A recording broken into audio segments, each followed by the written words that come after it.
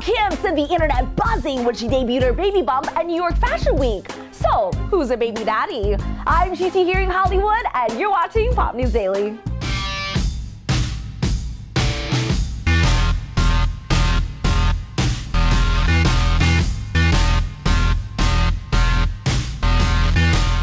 It looks like Queen Bee is growing a beehive. Lil Kim hit up the Blonds Show at New York Fashion Week on Wednesday, February 12th, and everyone noticed her massive baby bump. Kim showed off the bump in a skin-tight bedazzled dress and a black blazer. Lil Kim was sitting front row at the show, right next to Paris Hilton.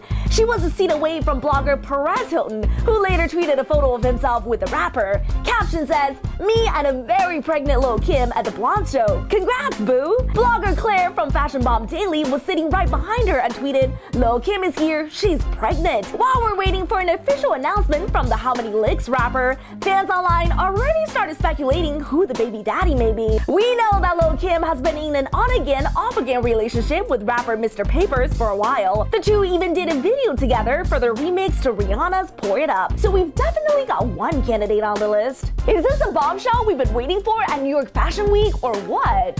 Who do you think is Lil Kim's baby daddy? Comment below and tweet us at PopStopTV. I'm XiXi, checking out of our studio here in Hollywood. I'll see you later.